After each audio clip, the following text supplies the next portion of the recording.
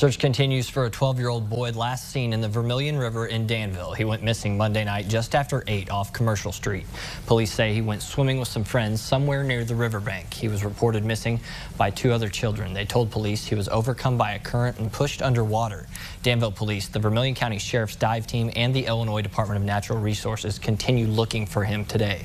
Officers say they will provide updates when new information is available.